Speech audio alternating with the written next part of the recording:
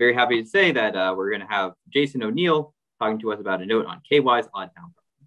Yeah, thank you, uh, Sam, for the uh, for the introduction. Uh, this is probably the fourth or fifth time Sam has heard me talk about this. Uh, this is a project with our common advisor that I worked on when we were roommates for the most part. So, um, yeah, so I'm going to start with just making some uh, notation that should be familiar to everyone, um, but just in case, um, I also like to do this to warm up, you know, vocally. Uh, so brackets n is just the first n uh, positive integers. So it's a set of that. Um, and we are going to be considering collection of subsets of brackets n. And so to denote that, we do 2 to the brackets n. Um, and so this is the collection of uh, subsets of brackets n. Um, yes, okay. And I guess you can also be equal to the whole set. Um, and then the other piece of notation, I guess, from extremal set theory is brackets n choose k, uh, which is all, um, I guess, elements of 2 to the brackets n that have size exactly k. Um, and the type of question we're going to consider is primarily the middle term, but we're going to consider a subfamily of that that has certain properties. And we're going to ask how large can such a uh, subfamily of 2 to the brackets n be. Okay. Um, and so the, the classical result along these lines is called odd town theorem or odd town rules. And so what we have is we have a subfamily of two to the brackets n, so a collection of subsets where uh, each subset uh, is odd. So its size is odd. Um, and each pair of distinct subsets in my collection uh, is even. And the, the question we ask is, well, how large of a collection of subsets can I have while adhering to these uh, these rules? Um, and so this is somewhat of a classical result, uh, but the answer is if I have a subfamily which satisfies the rules, so the, the, the sets themselves have odd cardinality and the pairwise intersections are even, then I cannot have more than n of them. Um, and, and the proof of this, let me just say a couple lines. Proof, uh, what do you do? You take these sets A1 up to AM, and you consider the characteristic vector, uh, I'll just call it X1, X1 up to XM, and you view it as a vector in F2 to the n, um, and you can do some inner product stuff to get that this is actually an orthogonal, uh, actually not necessarily basis, but uh, independent set. And in particular, it has to be less than the dimension of the underlying vector space, which is n. Um, and so I'm kind of skipping details, but that's the that's the idea. Um, and you might ask, is this best possible? Can we actually find a collection of subsets that uh, achieve uh, the size n? And there, there are many ways of doing this. Uh, so the first way is to let my collection A consist of all the singletons. Um, so here I li lies between one and n. Um, and let me just say out loud. So each collection of subsets in A has size one, and so in particular is odd.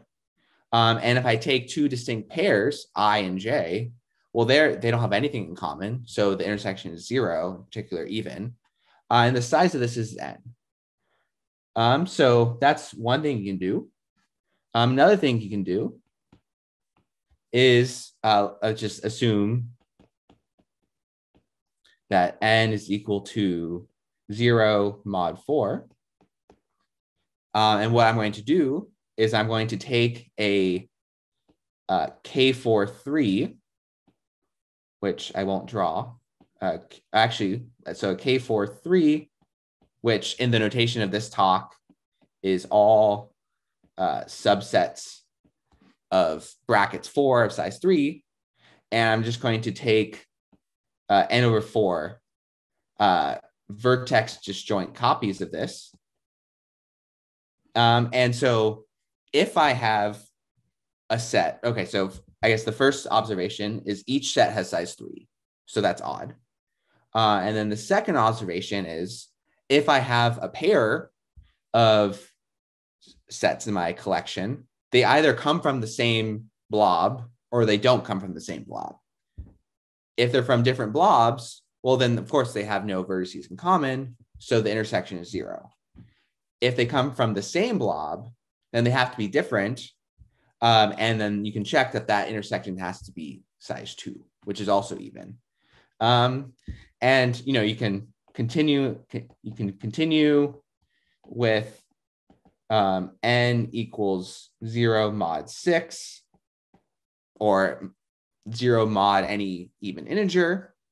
Um, and you can also sort of take uh, you know combinations of these things. So there are, there are a lot of different extremal ways of getting uh, exactly n.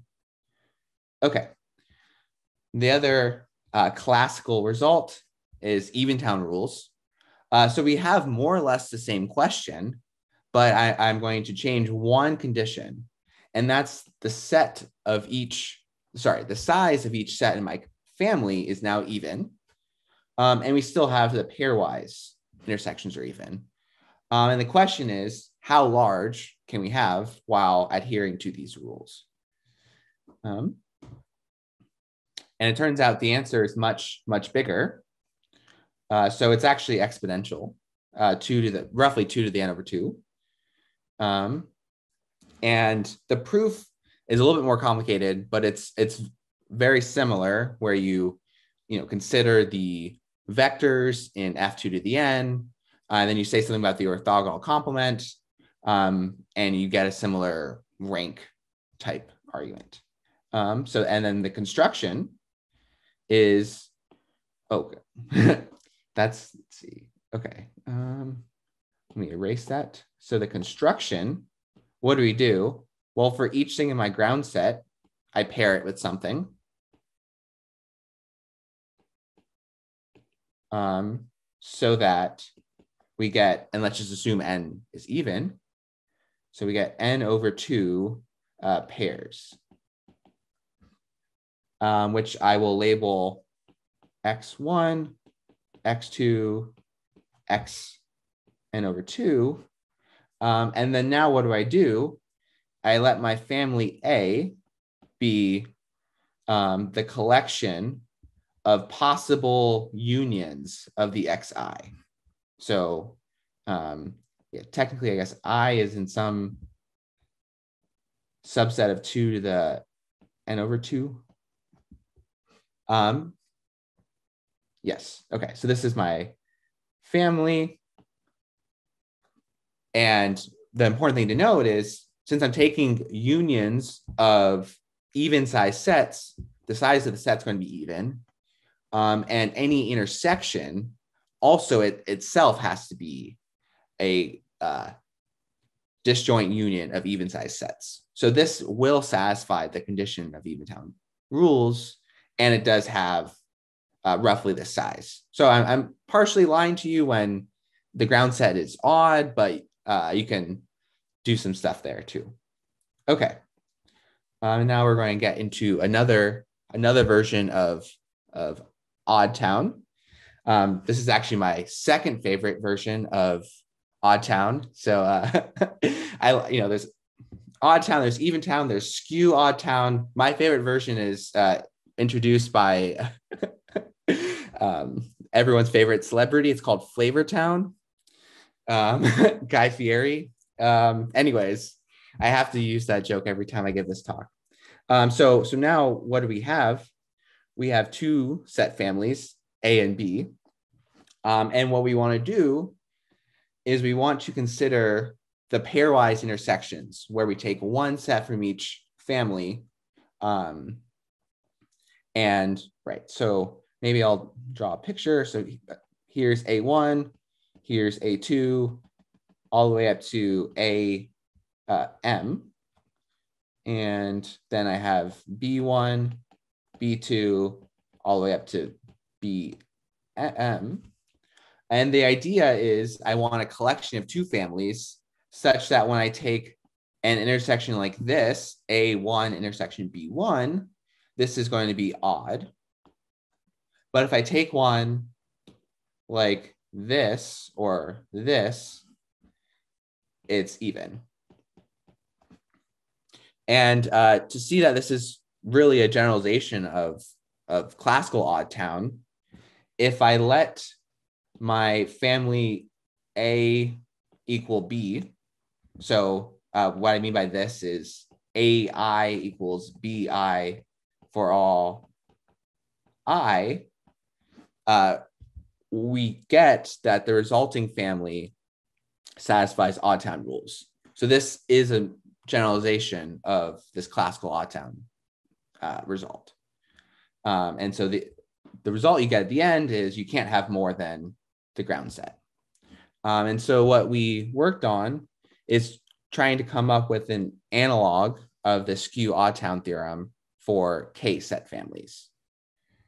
Um, and so here we want K to be more than uh, two. So if I have maybe three of these families, you might ask, well, um, what kind of conditions can you ask on the three wise intersections?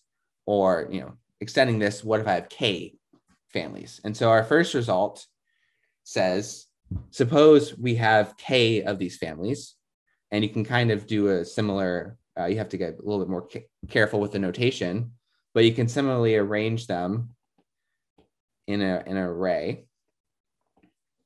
Um, and if I want to force the intersections that have one or that have k distinct uh, indices to be even, and the ones that um, you know they could look like this, or they could even look like you know they have one thing in common, and then otherwise they're these ones are odd.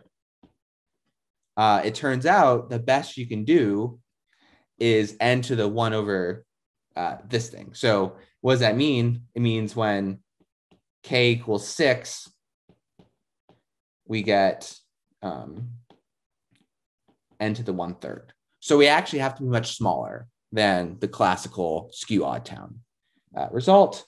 Um, and let me just say a, little bit about, um, I guess, the proof. Um, so the first thing is there are constructions that show that this is best possible. Um, and in order to do this, there's a connection to uh, a classical um, Graham Pollak extension of, uh, um, or hypergraph extension of the Graham-Pollak theorem that Steve talked about yesterday. Um, and you sort of encode such a covering in terms of these collection of families. Um, and so that's the, I guess in some sense, it's the lower bound. Um, and then the upper bound comes from, wait, maybe I'm mixing it. No, the lower bound comes from a rank type argument, lower bound. So this proof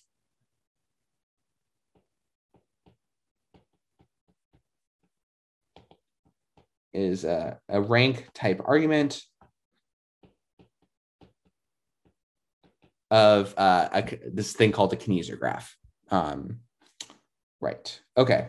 So that's the the first thing. And you might say, well, why do we choose uh, this condition that the even intersections have to be all distinct?